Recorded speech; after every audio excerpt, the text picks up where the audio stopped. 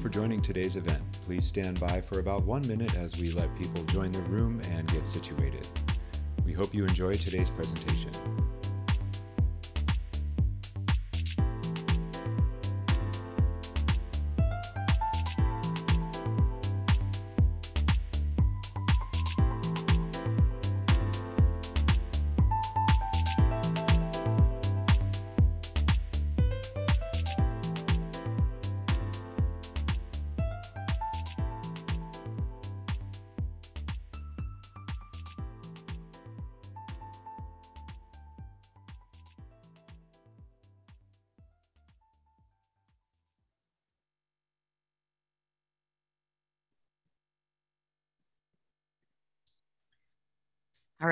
Welcome everyone, and thanks for joining today. Uh, many of you know me, but if you don't, my name is Alexis Bateman. I'm a research scientist at MIT Center for Transportation and Logistics and the course lead for SC3X. And I'm co-hosting this event with Dr. Inma Borrella, uh, also a course lead with the MicroMasters program and a research scientist at MIT CTL. And today we are really fortunate to have what I think is an absolute legend in supply chain, uh, Miss Wendy Herrick, uh, Vice President of Digital Supply Chain of Unilever. Uh, welcome, Wendy. Alexis, thank you. Uh, it's really uh, an honor to be here. Thanks for joining us today. We're really excited to get started. Uh, so we're going to start off with some polls. If you guys have joined our events in the past, you know we like to run some polls. So um, let's get started with the first poll and, and just take a minute to respond and, and we'll discuss it in a few minutes. Okay, so the poll is out. Um, while you just respond to the poll, I will be just talking a little bit about the agenda for the session. For about the next five minutes, Wendy will provide a context for Unilever. Also, although I, I'm sure everyone knows Unilever, but it's great to know a little bit more about the company. Alexis and I then will ask some questions that we have prepared. And the last 20 minutes, we will save them for your questions. So please use the webinar Q&A feature that's at the bottom of your screen and just ask your questions there make sure you're logged with your name because we won't be reading any anonymous questions. And we will continue to be sharing a couple more polls during the event so to make it more interactive and keep hearing from you guys. So um, we have quite a few people who's responded to the poll. I think we can we can just check out the responses. So let me end the poll here. So most people, 45% said they are here today to learn more about digitalization of supply chains. Um, also, like some of them want to know more about Unilever's supply chain. 14% are in the MicroMasters that they do not miss any of our live events. That's great. And uh, we uh, have like a few people that just want to generally expand their knowledge in supply chain management. And thankfully, as, as usual, we don't have anyone who said they had nothing else to do today. All our uh, attendees are very busy, but uh, they very found time to, to join us today. So thank you for being here with us. Yes, I think none of our MicroMasters learners are ever not busy. They're jug juggling lives and programs and everything. So we're, we're really thankful you found the time to join, join us today. so Wendy, with that in mind, are you ready to kick it off? Absolutely, absolutely. And, and as I, and thank you very much. And I feel really honored, as I said, to be with you all today. I think this is a wonderful program. And I really want to thank Alexis and Inma for inviting me to this MicroMasters uh, event. So my name's Wendy Herrick, and, and as you heard, I head up the digital supply chain for Unilever globally. And, and I've actually had the privilege to work for Unilever for over 25 years across the globe. Uh, I actually started in finance, uh, but uh, I'm happy to be in the supply chain. Um, and I really look forward to sharing anything you want to know about my journey uh, with you guys all today. So, um, you know, Unilever, uh, for those who, of you who aren't familiar, um, first off is we are guided by our purpose-driven compass. Um, and what does that mean? What is our purpose-driven compass? It's, it's our integrated business strategy. Um, and our purpose is to make sustainable living commonplace. So that's our purpose. And, and there's three facets to that. So we believe that people with purpose thrive, uh, brands with purpose grow, and companies with purpose last. Um, and we actually operate across four divisions. So you might three, see three divisions, which was we just added a new one. So we we are in beauty and personal care, we're in home care, we're in foods and refreshment, and our newest division ad is health and wellness, right? So vitamins and uh, all the good health and wellness things that we're trying to bring to the consumers each and every day. And so all, across all these categories, it gives us true breadth and depth across those essential products used by the consumer each and every day. Um, we make, I think we make products that people love and they're a force for good. They're all powered by purpose. So um, just a few brands, you know, Dove in its self-esteem program, Ben and Jerry's in social justice, and Hellmann's, uh, you know, cage-free eggs, and Lifebuoy uh, really bringing cleanliness um, to ensure we keep everyone safe and well. And then Lipton with its antioxidants in tea. Uh, so just to name a few, and 12 of our brands are actually over a billion uh, euros uh, per year. And it's with these strong brands that we've helped 1.3 billion people improve their health and hygiene. Um, our brands and our products reach two and a half billion consumers every day. That's one third of the world's population across 190 countries. And so, for those of you who don't know Unilever, you probably know some of our brands and hopefully you reach for them every day. So, you know, just to give you a, a feel for the scale, we have uh, over 48,000 suppliers.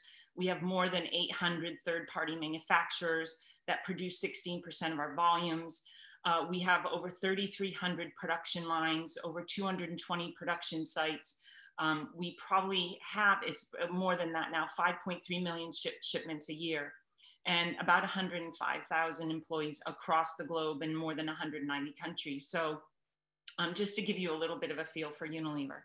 Um, so with that, uh, you know, if there's any questions there, again, very purpose-led, and our, our, our purpose is to make sustainable living commonplace. Thank you, Wendy. Like certainly a very, very global company, very complex supply chain, and and a very inspirational company with this purpose. That I mean, I think it's it was great when it was like just put out there uh, a few years ago when everyone could see like where the what was driving the company. I think it was it was fantastic and inspirational for many people and for many other companies too, which is which is great. So thanks for that great introduction. I think we just get a sense of uh, what you're dealing with in your, your daily job now. Uh, now let's dive into some questions. So you are now VP of Digital Supply Chain, but you, as you just mentioned, you have been around 20 years in Unilever and you started in finance, right? And now you are in supply chains. Could you tell us about this interesting professional journey? Sure. So it's it's probably not your typical journey. Uh, I, will admit that right up front. Um, after college, I went traveling, you know, and when I got to the UK in a particular place, uh, Bristol, England, actually, I didn't want to leave. So um, I actually, and back then it was a little bit more lenient with regards to visas, passports, green card, all those kind of things. And I actually got a job with Unilever International. And, and that was a, a market development arm of the company. Um, and so that market, that market development arm uh, really dealt with every single uh, country around the globe that didn't have a local Unilever company. So it really broadened my horizons with regards to the world that's out there. Um, then I, uh, I decided because I was in the finance department, well, I wanted to know how I could progress. So I did CIMA exams, and CIMA aren't so known in the US. It's Chartered Institute of Management Accounting. Um, so I wanted to get my, uh, my accounting qualification because that wasn't my college uh, degree.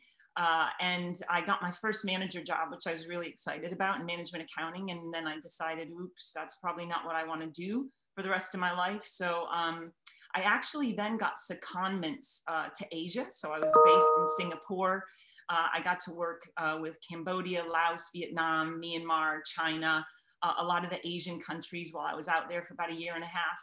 And then I actually got to spend time in the Caribbean. So the reason why I was there was because we were closing down the international market development company and we were handling, handing it over to local businesses and setting up Unilever in those countries. So those secondments, again, uh, tremendous opportunity for me across the entire supply chain. And then I moved back to London and I actually worked for a company called Birds Eye Wall's, which was their fo- frozen food and ice cream business. I dabbled back in finance again, but then I really got into some big technology um, projects, especially in SAP. And I'm sure you all heard of SAP. Uh, and then after we implemented that in Europe, um, it was finally time to come back to the US and actually have a job in the US. So um, I came back to the US. I had numerous jobs across the supply chain and procurement, logistics, customer service, uh, special projects, because um, we integrated some of our other companies, foods and HPC and ice cream. And, um, and then uh, after that, I got the job as the VP of North America in the supply chain for the go-to-market area. And this is where we started the digital journey.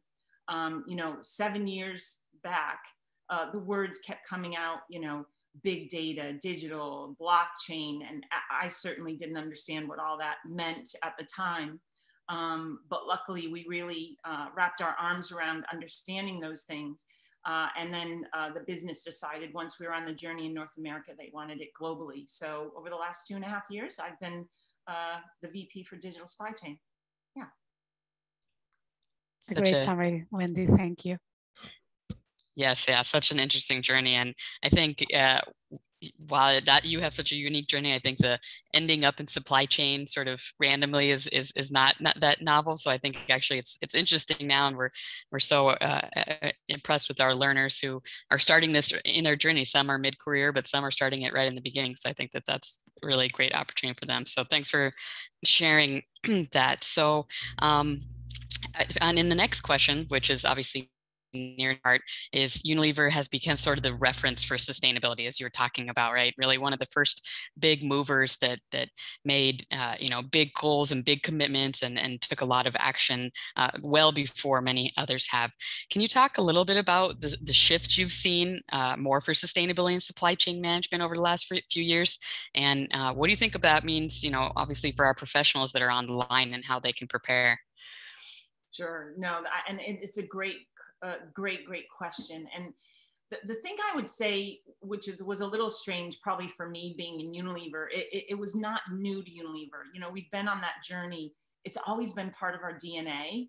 Um, and in everything that we do, you know, it's just like plan, source, make, deliver, sustainability, you know, that climate, that whole thing is there. Now, uh, our journeys change and our challenges have changed over the years. Um, but if I go back to the founder of, of Unilever, really, Lord Leverhulme uh, out of England, the UK. You know, he made Sunlight soap. That was his first product back in the 1890s uh, to popularize cleanliness and hygiene in Victorian England because, you know, the disease and illness and what they struggled with. So, you know, um, he also actually promoted equal rights for women as early as 1916, uh, which, it, again, it, it's, it, it's that whole um, you know, social responsibility as well as sustainability. Uh, and actually in 1939, uh, he actually gave the first of many women a scholarship. So I think it's really interesting to link it to education and, and kind of what you guys are doing and, and how important it is. Um, and then in, in 1970, you know, the environmental issues related to packaging, we were front and center there.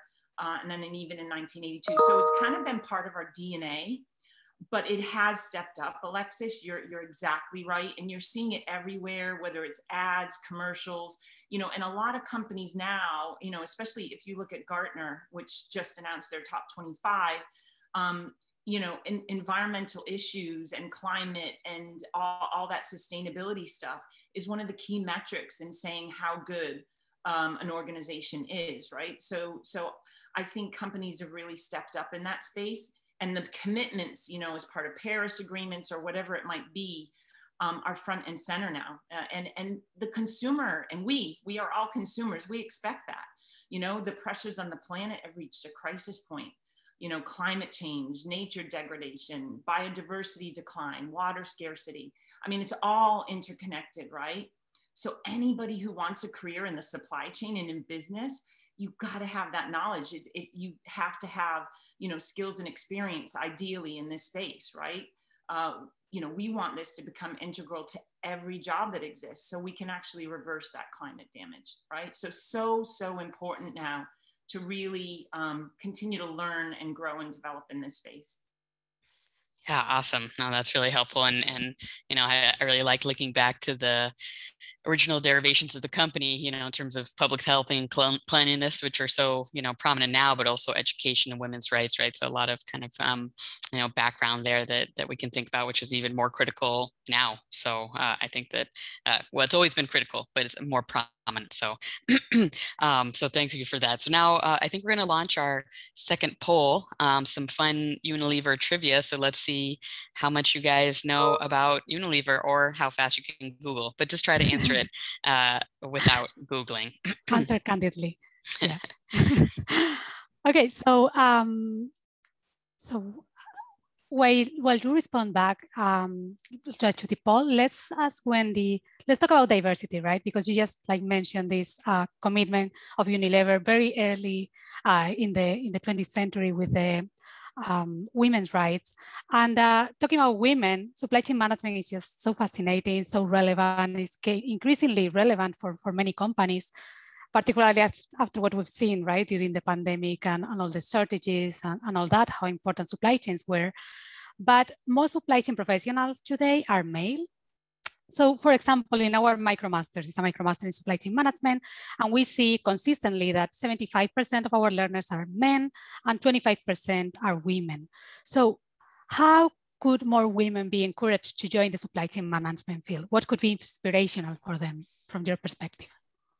Yeah, you know, and gender, I mean, when I go back to when I was in university um, and an engineer, uh, I, I, would generally be the only female in a class. Um, so it, it, has been, you know, and engineering isn't necessarily supply chain. It does fit there quite well, but there's a number of jobs that fit in the supply chain. And I think supply chain, that word or operations didn't even exist when I, when I was uh, back in, in school.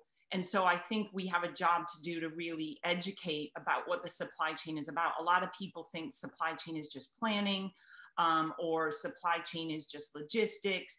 I mean, the, the breadth um, that the supply chain offers and the roles that you can play are just, it, it, it's amazing. And that's certainly what, uh, what sort of kept me in supply chain is the breadth of the opportunities that exist there.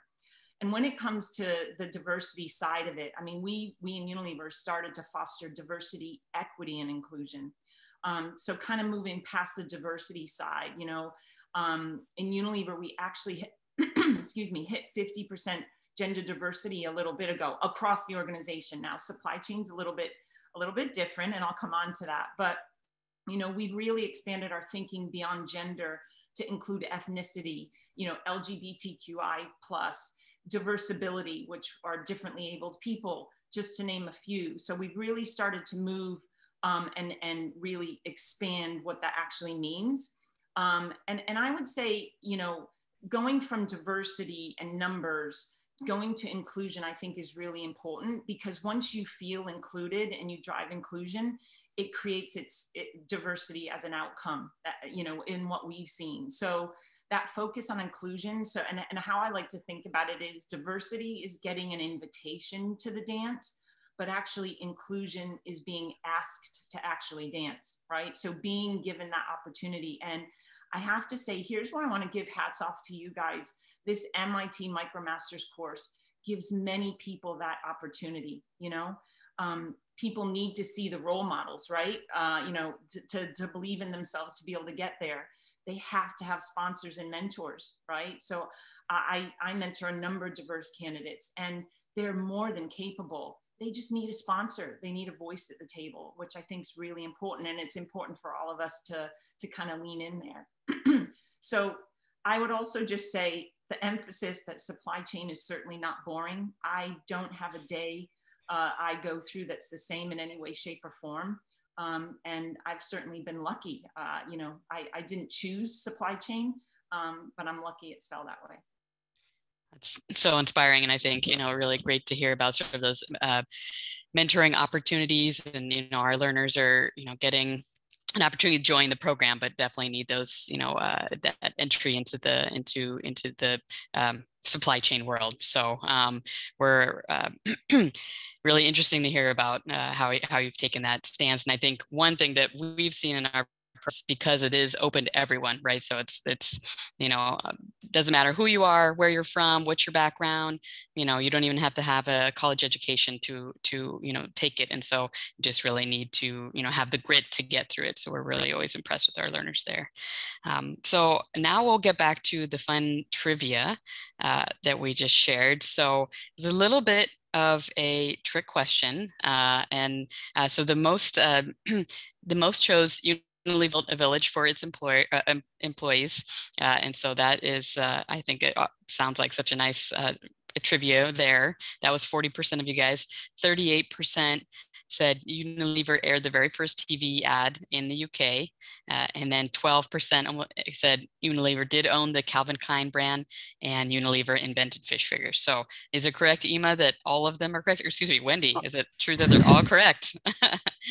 are. You know, I know you guys found that uh, trivia, but it, it's absolutely true. And you know, even for me, sometimes some some brand, you know, they'll they'll bring some brand to the fore saying, "Oh yeah, Unilever used to own that." I'm like, really? I mean, there's brands that I don't even know. Uh, you know, uh, it's you know, it's a conglomerate. It's it's had many different brands um, in its portfolio, but uh, you know, even in the last several years, the the companies that we've you know, the, especially in the premium range that we've um, acquired, it's just a constant change for sure. Yeah, so that was a really fun question, and and I even saw it in the chat right now. Someone said, "What Unilever owned Calvin Klein?" so there was some some a fun trivia there. So um, all right, so now we'll get back to the to the meat of it, which is why everyone came. Uh, Inma, do you want to kick off with a, a question about supply chain digitalization? Yeah, let's let's dive into digitalization. Right, I think that's where you are right now, those are the, your biggest challenges and where your biggest expertise lies. So we've seen the disruptions this past year pushing forward innovation and digital transformation in many companies. Uh, you just mentioned earlier that in Unilever, it started seven years ago. So it was not so recent. You've had already like quite a journey in this field. But as a, the VP of Digital Supply Chain, could you tell us about Unilever's supply chain digitalization journey and how it was affected by these disruptions of 2020? Maybe it got like further accelerate it or uh, do you actually like use some of the tools that are already implemented? Just tell us a little bit more about that. Sure. No, and great questions. And and we did start. I mean, just all these words. I mean, it's it's it's been alive. I mean, machine learning and AI. It's been around for many more years than even seven years ago. But um, you know, in the supply chain, these words and articles and all this academic stuff was coming out. And we were thinking, God, what does that mean? What does big data mean? What, what do they mean by that? What does RPA mean? What is robotics, ML, AI, blockchain? I mean, it, process automation, all these things were kind of coming at us. And it's like, well, we need to figure out what it means. So, you know, as part of the North American leadership team, um, you know, I, we came up with a strategy around what we thought it meant. Um, and we just started that journey, like I said, in North America. And then the Marc Engel, our chief supply chain officer, saw what we were doing in North America and said, hey, we need to bring this role to the globe. You know, we need to really start looking this on a global um, platform. Uh, and so that's where this role that I'm currently in, it didn't exist before. Um, and then we created a larger global digital transformation group, right? Uh, and we actually took six months out. You know, I'm a I'm a, an action. Let's go. Let what are we going to do? Sort of person.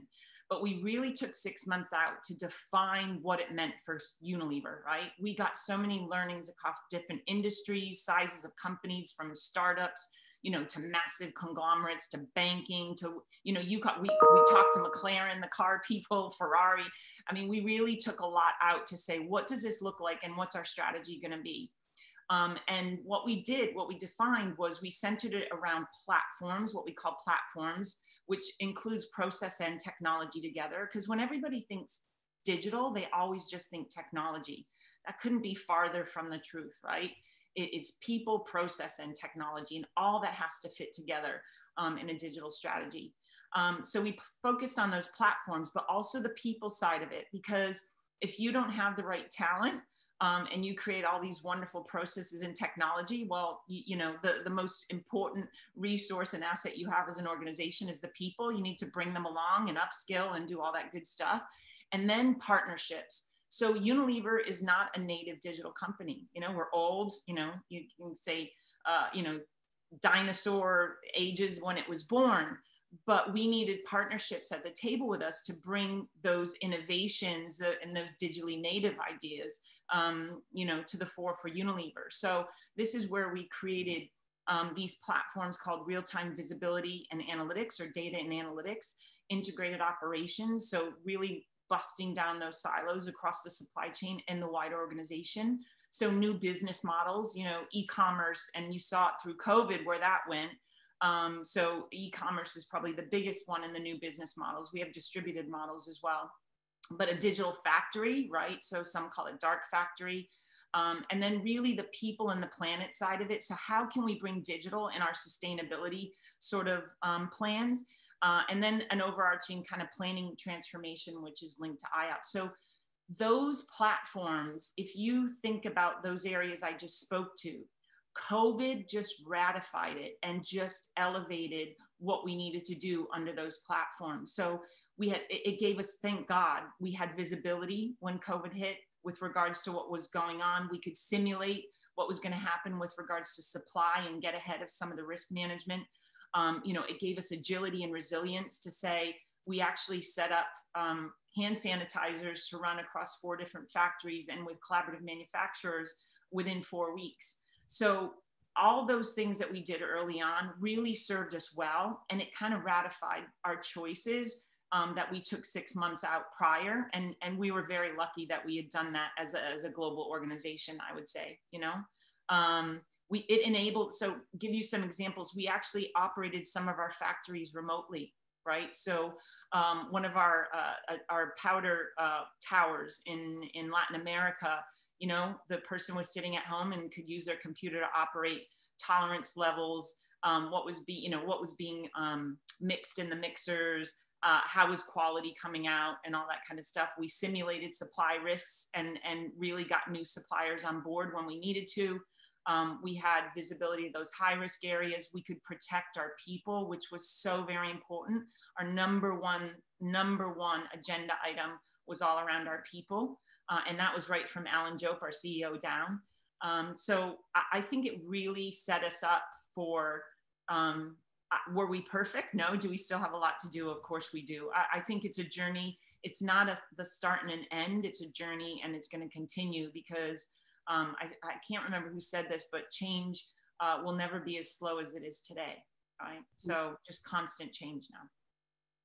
Thanks, Wendy. Like you just summarized so well, like the journey. I know it's like very complex, right? And so many ramifications, but I, I love what you, how you introduce this, that many people just see digitalization as you know the technologies and just getting the technologies and implementing the technologies and that's uh, the recipe for for failure because if you don't not include like the transformation of the processes and also like the reskilling of people that's like the technology is there for nothing it's not going to be used it's not going to be productive so that's uh, i think that's a key point that uh, we've also seen in our research uh, in, in our conversations with other companies I love your comment because when we started our journey, it was kind of scary.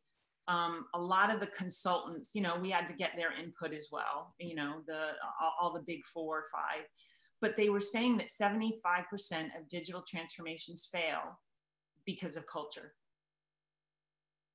So that people side and uh, is really so important. It's not about the technology in the end. Yeah. So you're spot on. Yeah, no, that's super interesting. Actually, on that point, can we just ask one follow up? Is is how do you bring the people along, right? Because there's a lot of embedded behavior change. You know, I've you know company veterans like yourself who've been there for 20 plus years that may not want. You're obviously ready to change, but maybe some others are not ready to change things they've been doing for for so long, and they need to use new systems. They need to um, you know engage in, in information systems in different ways. And uh, can you talk a little bit about how how how that process works in such a large company like Unilever? Sure. you know, if and this what served me well is all the different uh, technology projects um, that I kind of led or worked on in my you know previous roles, and we always focused on change management, right? What does change management mean? Well, everyone, it's like, oh, you know, get the process, understand the process, and train the people on the systems, right? Um, we kind of moved uh, along the spectrum there and we call it change leadership. So change management is a part of that, but the leadership and engagement of all the people everywhere uh, is so important. So for instance, when you're landing a capability, we have landing and adoption metrics and, and we have engagement plans and it's not just communications it's engaging with them it's getting engaging them early on as well it's explaining to them you know so what is the digital transformation what does that mean they didn't know what digital meant either i mean we took time out to really understand it so I, I think that engagement piece of it and the change leadership. So you have, you know, you always have the early adopters, you have the people that are middle of the road, and then you have, you know, the cynics. And really, um, sometimes there's cynics that you're never going to change uh, their mind, but you need to get to those people and bring them on the journey that are middle of the road and and and you know kind of really move them into that adopters and then the influencers as well right? You have leaders around the business that are key influencers really getting them on board as well. Um, so that engagement communication bringing them on a journey not having you know not having it feel like it's being done to you it's being done with you. Yeah. So that that being a part of the journey is so so important. I, I, and and i can't emphasize that enough. Um, because once once people feel like you're doing this to me um, you're making a very very difficult road for yourself Right. Yeah, that's really interesting. And I, I like how you kind of outline some of the people that are, you know, sort of the categories of people, right? That, you know, the, those that are kind of early adopters and then influencers, right? Who are going to bring, you know, more of, uh, more of the folks along with them and really can kind of get, engage people on how this is going to help them in their roles, you know, how this is going to kind of help the company as a whole. Um, so that's really interesting. All right. Yeah, so maybe, yeah, th- this topic is so interesting, right? So Maybe another follow-up question about something you mentioned. You mentioned metrics, right? To measure like how like the advancement digitalization. So how are you defining those metrics? I don't need to go into much detail, right? But uh, you have the, the performance metrics and then you have like the how you measure that actually digitalization is happening and that the company is becoming more digital. How do you combine both? How do you set new goals for, for your employees so you can actually move forward together as you just mentioned? Yeah, so I think what you're talking, and if uh, hopefully I understood your question. So of course, that you know, um, it was funny. We were on a, C, a CEO webinar call. So every two weeks, Alan Jope, our CEO, has a webinar now open to the whole organization that really um, helped us through COVID as well. And and we used to do it monthly, but we now do it every couple of weeks. And what's really interesting, he said, you know, I worked with supply chain guys back in my career, blah blah blah blah. And he says, I'm sorry to say, but you know, you still measure the same things. I still hold you accountable for the same things, whether it's service, costs, and I, will call it carbon or sustainability and cash. You know, when you look at those metrics uh, at a very high business level, we're still held accountable to all those things. What I would say, though, underneath that is um, I, I think uh, agility, resilience, risk management, and all that kind of falls underneath.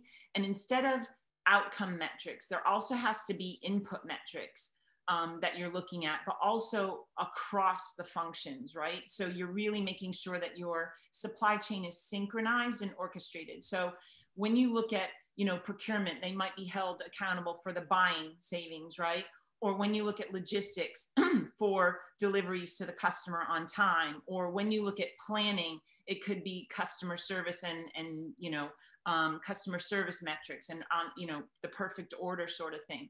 But what what we've done with regards to really digitization is kind of looking at the end-to-end value network. And and for instance um, having things like lead time for new that means every part of the organization and chain has to be involved to make sure we're doing it the quickest, fastest, in a very high quality may, way to meet the consumer and customer expectation.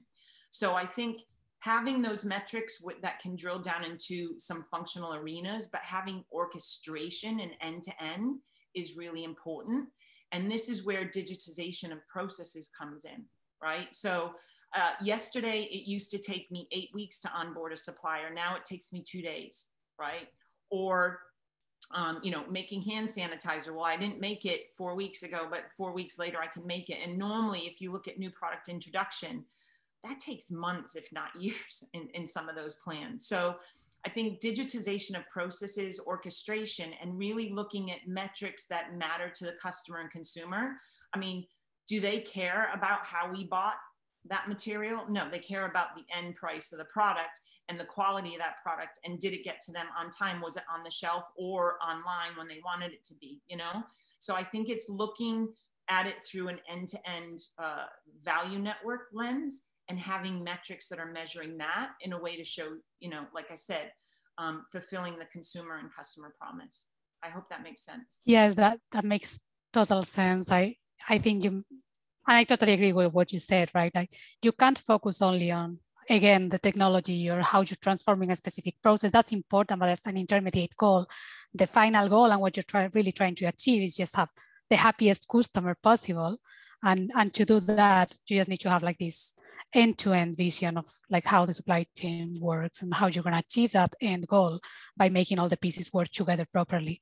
So, um, but it, that's that's a huge challenge. So, uh, oh, yeah. yeah. certainly are not perfect at it. That's for sure. uh, we still have we still have work to do. Thank you, Wendy.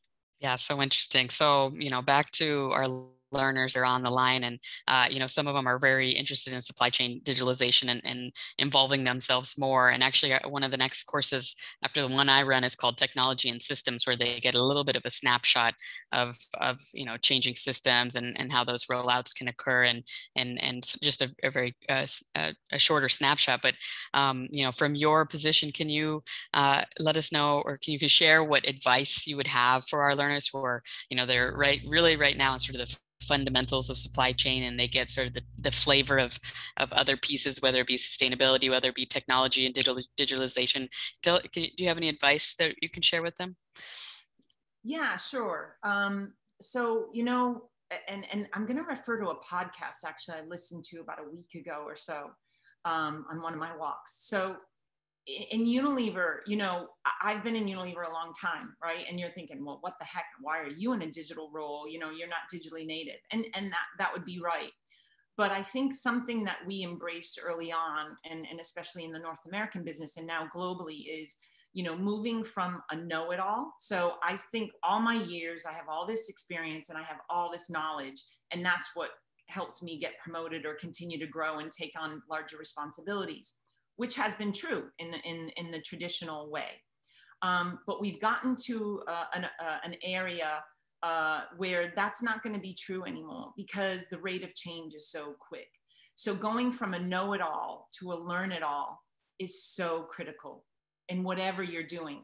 And the podcast, and I'll, I'll just give an example here of what they were saying. They were saying, you know, back in 1990, when you graduated from university and had a degree, you could probably get a good 10 years of what you had learned to help you progress and and you, you know your understanding and putting it to practice. In 2000 that kind of the year 2000 it went down to five years.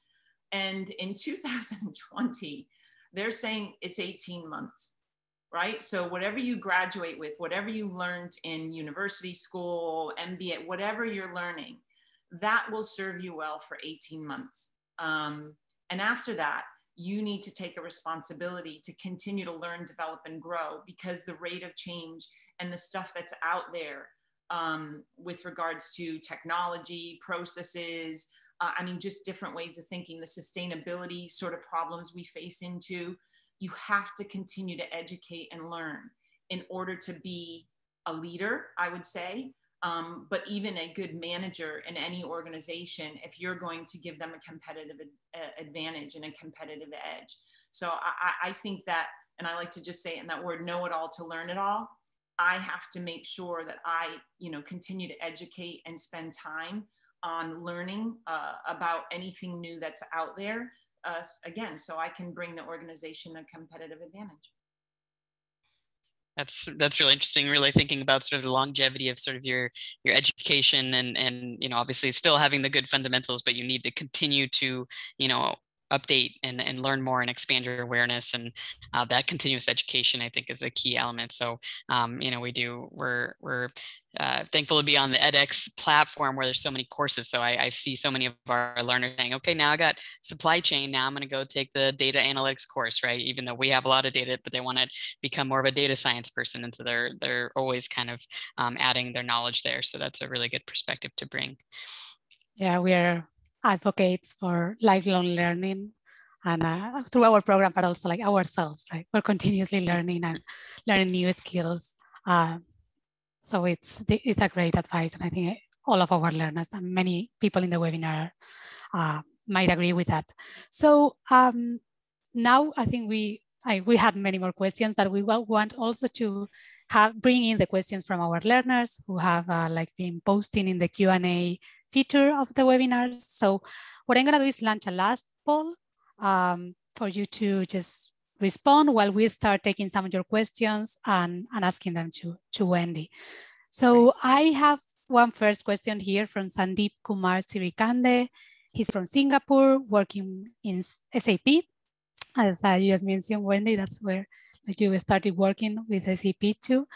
Um, so his question is, uh, when going through the digital transformation of a supply chain, sometimes it involves immediate upper tier suppliers to follow certain procedures or just to join for this digital transformation with the new digital tools. So how challenging was it in your experience convincing these suppliers uh, to join uh, your digital journey and uh, how, how did you do it? How did you convince them to, to actually join it? Thank, thanks for the question, Carlos. And so um, actually one of my really good friends, Andrew Butcher, actually works for SAP in Singapore. So uh, say hello if you know him. um, so with regards to bringing suppliers along, and, and this is where I talk to those three areas, partner, uh, you know, uh, people, platforms, and partnerships. Um, it, you have to, they're part of your, you know, a big part of your organization. We don't see them as separate to our supply chain. We see them as part of our supply chain, right? They're, they're part of the Unilever team, really and we have to bring them along the journey uh, just like anyone else. And I would say because Unilever's large, I would say for smaller companies, it might be more difficult. Um, but we have some really, really strong partnerships. In fact, we call it partnerships with purpose. Um, so our key partners are also uh, driven by the same values, right? So um, and when you align on values and when you create win win scenarios, so it's not about us winning and the suppliers losing, it's about us winning together. I think if you show that value and you show that partnership, I think it really paves a road um, for whatever you want to do together with regards to that. And when that's when I talked about the value network, that includes suppliers. They're front and center. Without them, I mean, we're not going to survive. And when we're a manufacturing company, we need raw materials, packaging materials, but also we need their innovation, right? They're critical to our innovation funnel in, in bringing new products, not only new products. And generally, when we think of innovation, we think of, well, we used to think of just product um, because that's important to the consumer. But now it's about process, technology, people. It's that whole innovation, um, I would say, view that we're sort of focused on but bringing suppliers along, I think that partnership with purpose program that we have, but also the shared values and the win-win situations, I think has made it a lot easier for us. Hopefully awesome. Yeah, no, very helpful. Uh, so yes, we have a, a, lot of questions. So we're going to try to get through a few. Um, Bhavya, he asks, uh, they ask, uh, uh these days, uh, many people are criticizing lean strategies uh, due to uncertainties because of COVID-19 and obviously the outages and other impacts that occurred. What do you what do you think about that in the future of lean strategies? You know, that's an interesting question because, uh, and it's funny because even in our organization, it, you know, we call them world class manufacturing, lean, Six Sigma, all that kind of stuff starts to come to the fore. And it's just like, in my mind, it's just like in engineering. I, I don't think those strategies are wrong, but I don't think on their own um, they will get you to where you need to be as an organization. I think they need to be part of the overarching strategy um, and, and that critical thinking. Now, is it exact to the lean that was learned how many ever years ago?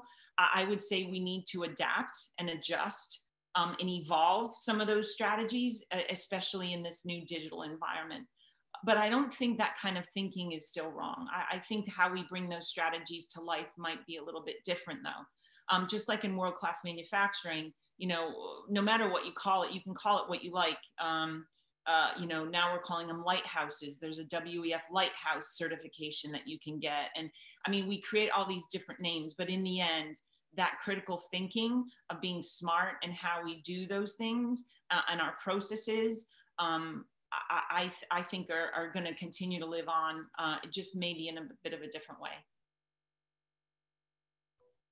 Awesome. So another question. This one is from Unad Basvar, Bavsar.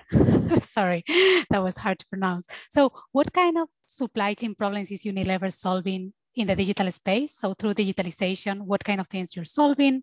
And also what are the key challenges Unilever is facing in this digital transformation? These are two very broad questions. Just take them as you. I'm going to take the, the, the, the, I think the cultural side of it and bringing the people along. Um, I mean, we're in 190 countries. You can think all the different cultures that exist inside that space continues, you know, it, it's always going to be a challenge because it's massive. Uh, but I think I think we've cracked some good nuts in that space. But it's it's forever going to be a challenge. We we need to keep our finger on the pulse, um, and we need to continue to engage the people and bring people along. I, I would say um, one big challenge, and, and and and it was really our board uh, that put out the climate and nature uh, goals we have for I would say for the next 20 years and there's some of them that are on there that even from a digital standpoint i, I we don't know how we're going to crack those yet. You know um, w- you know the plastic one is in the next couple of years where we want to you know have our virgin plastic in by 2023 but also collect more plastic than we actually use by that time it's 2021. Do we have a specific answer for that right now? No. Are we working on it? Yes. And digitization comes into play there because you have to have the visibility of it. You have to have circular, you have to, you know, so all those things. That's just one example. Um, you know, regenerative agriculture. I mean, um, you know, if we have 100, well, 99% sustainable palm, right? So how how we look at palm in in you know, and it's a big raw material for us, but we're making sure that we're doing it in a sustainable way, and we're making those claims to the consumer. Um, but at the same time, making sure that those people in those countries where palm is made, especially Indonesia, places like that, that those people are getting a sustainable wage. So we're not just saying, okay, it's sustainably, re, you know, sourced and all that we're actually going down to the farmers that are doing that and making sure not only the, the, the mills that we buy from, but those farmers actually get a sustainable wage. So that social responsibility is there. So all the nuggets in the chain bring its own complications. Um, but I think those, if I look at where, when I'm, I'm it, like in my stomach, I think, oh God, how are we going to do that? I, I think those climate things, they put some really big goals out. Um, you know, Paul Polman did the same back in 2010 and 2011. And we actually achieved pretty much all of them. The biggest one we couldn't was the consumer, the consumer side of it. So, you know, the water that the consumer uses when they use our products, right? The plastic and recycle, consumers aren't recycling, you know? Um, so, you know, what where we're trying to um, get better in the consumer side, for instance, is we actually have um, a circular program, like even in Africa now, where we have people that don't usually earn a wage. They collect plastic, bring it to one of our spaces. We pay them a wage based on the bottles and everything that they're collecting on the streets. So it's kind of that circular, you know, creating those circular economies. Um, it's hard. It's really, really hard to do. Um, and tracking that and keeping it, you know, that's never going to be a totally digital process but we're working on those kind of things. Thanks. Having having a purpose, having a challenging goal, uh, for sure drives the, the digital transformation. Yeah, mm-hmm. but those were big questions. So I just gave a few examples. It's, hard it's, to it. it's great to go with examples, yeah. just to try and to see, like, yeah, in a specific yeah. examples how it actually is applied. I think that helps a lot. Yeah, I think uh, bringing also sort of, for instance, the palm oil example, right, which is such a complex and some of those commodities that, um, you know, do have huge environmental impacts, but then you get down to some of the social responsibility, fair wage, fair trade, um, you know, and, and ensuring livelihoods for producers around the world, which is such a such a pressing challenge right now. So how can how can we engage in that? So really, really appreciated that. Um, so I think uh, people were um, quite interested in the story you gave about the operator that was sitting at home running the whole um, uh, the, the manufacturing plant for the for the powder and so tushar and maybe this doesn't exist he said is there any kind of video we can watch or any kind of um, anything we can look at to really see how that how that looks sure yeah i think i think we put some i think some of the newspapers and some people i'll share it with you alexis i will share something with you but Great. i'm sure is really cool, actually.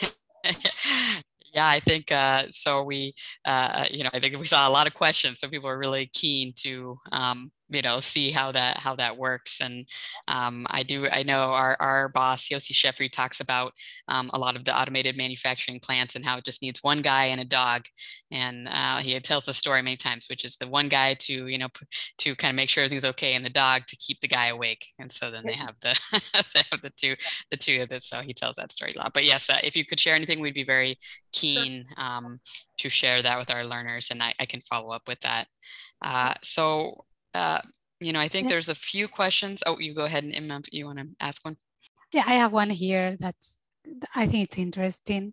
So senior leaders, Alex Ong is uh, just asking, like he says, senior leaders often confuse themselves with hot buzzwords, uh, digitization versus digitalization versus digital transformation, uh, and well, many others, right? So what's Unilever interpretation and approach to ensure that the narrative remains consistent and everyone in your huge companies understands actually the same thing yeah, yeah. and it, and it's constant communication about it about what it means and and you're right and even when I we started that journey in North America, all those buzzwords, I'm like, what does that mean? You know, I had no idea. Like robotic process automation, it's a macro.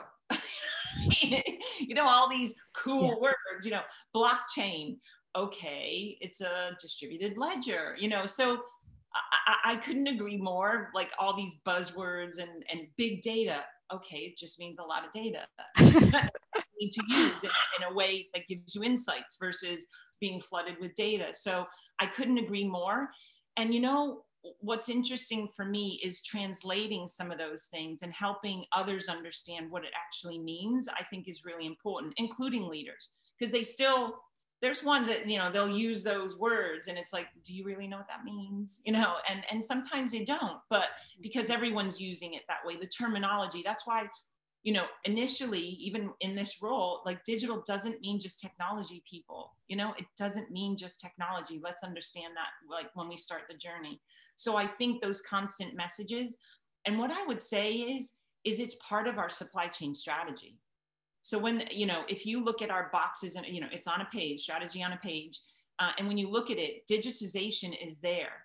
And we explain what that actually means for the organization under those platforms and what we're trying to do. So I think, you know, communication top down, left and right, wherever it is, you need to have that same messaging so people really truly understand it instead of just using buzzwords. Yeah. Thanks, Wendy. Yeah, really interesting. Uh, so I think we saw one of our own colleagues has popped in a, a question, Maria Jesus Saenz, who does works on digital supply chains along with Inma. Uh, so she asks, um, how does Unilever uh, deal with the trade-offs between automation like robots and RPA and augmentation, including uh, advanced cognitive capabilities like AR, which are dynamic by definition and evolving while adapting and uh, earning? I love, great question. You know, it was really interesting when we started our journey. I can remember doing RPA first. And, and, and we used some organization partners and, and innovation to find out what, in fact, they were in Boston. Um, uh, and it was a tool called Scout uh, to really help us understand what it actually does. And it tracks, you know, it tracks tran- individual transaction and clicks and stuff like that. So I, I would say the evolution from robotic process automation, it has its I think it has its um, use in a certain way in the organization. Uh, but what we found in RPA is it's probably more singular and it's not orchestrated. It wasn't as orchestrated across the whole value network. So it has its is it has its own um, usages. But when we looked at cognitive, so if we looked at our journey, we set out a strategy in data and analytics to say, well, first of all, we have to have a foundation, right? And in order to have that foundation, we need to have um, you know, a data uh, governance. We need to have data structures. We need to have data lineage. We need to have all that foundation, and then the people foundation and um, having people understand data and all that. But then we moved to what I would call, um, you know, after the foundation, you want to be data intelligent, and this is where and, and what we learned on our journey is you have to walk before you can run. You, and you can't skip a step. You've got to have a foundation to then build some sort of data intelligence. And there's degrees of intelligence whether that be rpa machine learning ai automation. What we saw it as three different steps. We said the first one is around just basic visibility to you know I used to say that we don't have one version of the truth, and there's times where we're either flying blind, late, or you know, it, it just not making good decision based on real-time data. So that visibility is step one. Step two is around, and we call that human in the loop, by the way. And then step two is about human on the loop. So really, you're now getting insights from that data, and that could be through um, just predictive, sort of predictive analytics. Like I'm telling you this is going to happen, or I can simulate this might happen. Here's a risk. You might want to get ahead of it. So it's predicting what's going to be there, and we call that human in the loop because then it's the human working right beside the machine, and the machine's kind of giving you that that insight to take the right action. So we're starting to get our people away from being data gatherers and validators to really being, data, you know, value added action takers, you know? And then we kind of move to that other one, which we're into now is the automation side of it.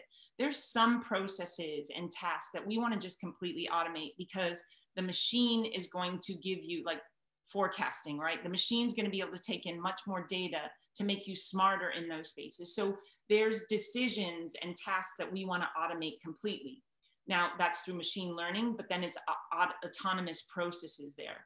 And once you kind of have that layer, then it's about, I would call it um, data for growth. We call it data for growth. And that's the full cognitive automation. And we, we use a couple of tools there now. We've, we've um, got our forecasting utility engine that we actually developed in, internally but there was a partner that we brought to the table that is amazing at orchestration across not just supply chain, but I would say an organization. Um, and we call it our self-driving car in the in the in the supply chain anyway. And that's where this cognitive automation comes in because this this tool and platform actually learns. So it's not just automating a process. Now it's looking at what's happening at that level to look at trends, and and it can actually it just brings that cognitive cognitive um, intelligence that we need as an organization. So hopefully that and and whatever you know AR, VR, whatever the tool you know the tools or things um, um, that that per, that that your uh, your I can't remember her name. I apologize. Um, was talking to that all hangs off those different air arenas with regards to where it fits in that kind of strategy. I, I, hope that made sense. I know that was a lot. Yeah, thank you, Wendy. I think it was a very clear explanation of, of a complex topic. Uh, I think this interplay between the human mind and artificial intelligence is uh, just a fascinating field and something that every company is struggling to figure out how how to deal with, right? What to be completely automated, what to be like actually like just informing the decision maker that is a human and, and what is just going to be run by an artificial intelligence. So it's a fascinating journey and I'm sure it's as you said, not the end, but just a continuous journey uh, towards continuous improvement. So let me ask one more question, and we could stay here all morning, but uh, let's let's go with one more. And I saw a few uh, of our participants just asking about profitability, right? Because of course, this this trade-off, this tension between digital transformation, such a big transformation in the supply chain end to end, and uh, the profits that that's going to bring. So it sometimes the transformation or the initial steps that you take are not directly reflected in the ROI. So how do you deal with this tension? How does the company deal with the tension uh, between, you know, investing in something that is going to maybe just provide a return, but in a longer term? Yeah. So I would say what we've I, you know, we we've kind of separated out run from innovation a little bit, right? And and we call it the mothership is really managing the operation, making sure that we're delivering to the consumer, managing that business. And then we call, we have speedboats, right, that hang off that mothership.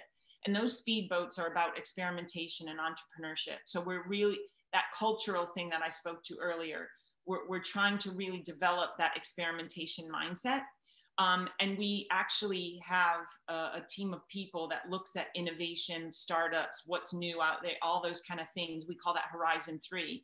So what's happening now, the mothership kind of, you know, really, really manages. But what's new and next is the innovation side of it and working in conjunction there. And I would say, so profitability, we still have to be profitable as an organization. The mothership takes care of that. But we do set things aside to say, where are we still having issues? Where could we find more opportunity from the mothership? And how can that innovation arm help the mothership get even more profitable? Or, um, you know, and, and we always think sometimes the supply chain is just about profit, but it's much, much bigger than that. How do we make sure that we're driving the customer and consumer journey? How do we make sure, you know, we're, we've got partnerships with suppliers? So all the stakeholders we need to, kind of take into consideration but um, you know profitability is is part of the overarching organization's responsibility but how does the innovation side make sure that wherever we're having issues in the organization whatever metric it might be how do we continue to bring that competitive advantage thanks wendy i love the the analogy with the mothership I was just gonna say that makes it so clear. You know, you have yep. like sort of the mothership, the core, and then you have these speedboats trying to bring innovation and, and changing things. So really very clear to kind of explain these very complex topics. So um, so we're at the end of our amazing webinar here. So just as a final wrap up, and I fully agree with what 57% of you guys, which is expanding our knowledge. So the question was, was most interesting part of today's session for you? Expanding my knowledge on digital digitalization of supply chain. So really fascinating to learn about your role and, and how you're managing and kind of evolving. And, and I think a lot of uh, key takeaway learnings for, for myself and everyone on the line. Um, and, and other kind of popular answers, understanding the path to a leadership role in SCM, learning more about methods practitioners use and ideas on how to improve your supply chain. So we just want to thank you so much, Wendy, for uh, joining us today. It was a, it was a really pleasure to have you. And I know so many of our learners got some great uh, insights to take home with them. Um, thank you so much. Thank you, Wendy. It was a pleasure. Thank you very, very much. Really enjoyed the session. Thanks. All right. Thanks all and have a great day. Have a wonderful day.